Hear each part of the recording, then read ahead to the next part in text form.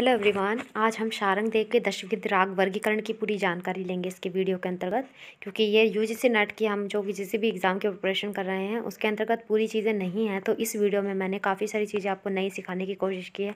हम सबको पता है कि उपांग राग शारंग देव ने कितनी मानी, लेकिन उसके नाम शायद बहुत कम लोगों को पता है। इसके अंतर्गत मैंने बहुत सारी इंपॉर्टेंट चीज़ें आपको बताने की कोशिश की है, और आपकी ये सभी एग्ज़ाम के लिए बहुत इंपॉर्टेंट होने वाली है तो हम इस वीडियो में स्टार्ट करते हैं। देखिए, शारंगदेव ने रागों को दस भागों में बांटा है, जो कि है ग्राम राग राग, उपराग, भाषा, विभाषा, अंतर्भाषा, रागांग, भाषांग, क्रियांग, उपांग। देखो, उपांग, क्रियांग, भाषांग, रांग, रागांग जो है, उनको शारंगदेव ने देशी संगीत के अंतर्गत रखा है, जबकि उपराग ग्राम राग राग भाषा विभाषा और अंतर्भाषा को शारंग देव ने मार्गी संगी, संगीत के अंतर्गत रखा। है ये क्वेश्चन मैंने आपसे पूछा था क्विज में।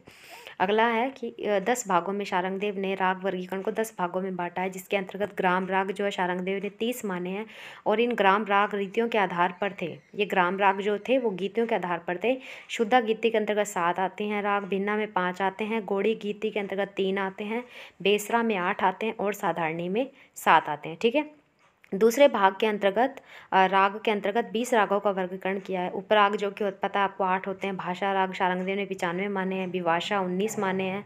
राग के अंतर्गत उन्होंने बीस रागों को रखा है, रागांग के अंतर्गत आठ को रखा है, भाषांग राग के अंतर्गत ग्यारह को रखा है, क्रियांग राग के अंतर्गत उन्होंने बारह रागें रखी है और उपांग राग के अंतर्गत उन्होंने तीन रागें रखी है।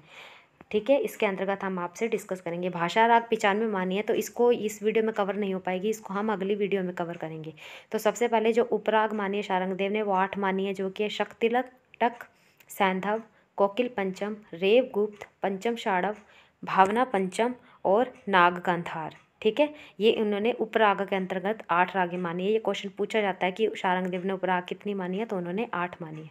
अगली आती है हमारी राग। राग जो कि शारंगदेव ने बीस मानी है। सॉरी गाइस ये कट हो गया गलती से। इसको अब याद रखना, बीस मानी है। पहली है श्री राग, दूसरी है नट, तीसरी है बंगाल प्रथम, चौथी है बंगाल द्वितीय, पाँचवीं है भास, छठी है मध्यम शाड़व सातवीं है रक्तहंस, आठवीं है कोल्हास, नौवीं है प्रसव, दसवीं है भैरव, ग्यारहवीं है ध्वनि, बारहवीं है मेघराग, तेरहवीं है सोमराग, चौदहवीं है कामोद प्रथम, कामोद द्वितीय, आम्र पंचम, कंधर्व, देशाख्या, कौशिक कुकुम्भ और नटनारायण। ये टोटल उन्होंने बीस राग मानी है। अगला हम डिस्कस करते हैं रागांग राग उन्होंने मानी आठ, जो पहली है शंकराभरण, दूसरी है घंटाराव, तीसरी है हंसक, चौथी है दीपक, पांचवी है रीति, छठी है पूर्णाटिका, सातवीं है लाटी और आठवीं है पल्लवी। ठीक है गाइस और अगला आता है हमारा भाषांग राग, जो कि उन्होंने ग्यारह मानी है। पहली है गंभीरी, विहारी स्वासीता उत्पली, गोली, नदांतरी, नीलोत्पली, छाया तरंगिनी और गांधार गीति और विरंजी। ये टोटल उन्होंने भाषांग राग ग्यारह माने हैं। ये क्वेश्चन कई बार दे देते हैं कि भाषा राग कितने माने, उपराग कितने माने, राग कितने माने हैं भाषा राग कितने माने हैं। भाषा राग और भाषांग राग में फ़र्क है, इस चीज़ को आप ध्यान रखिएगा। भाषांग राग ग्यारह है और जबकि भाषा राग जो पिचानवे और किसी किसी बुक में हमें नाइन्टी सिक्स देखने को मिलते हैं। अगली आती है क्रियांग राग क्रियांग राग जो कि बारह मानी गई है। पहली है भाव क्रिया दूसरी है स्वभाव क्रिया तीसरी है शिव क्रिया चौथी है मकर क्रिया पाँचवीं है त्रिनेत्र क्रिया छठी है कुमुद क्रिया, सातवीं है धनु क्रिया, आठवीं है ओज क्रिया, नौवीं है इंद्र क्रिया दसवीं है नाग क्रिया, ग्यारहवीं है धन्य क्रिया और बारहवीं है विजय क्रिया। ये टोटल उन्होंने क्रियांगराग बारह मानी है।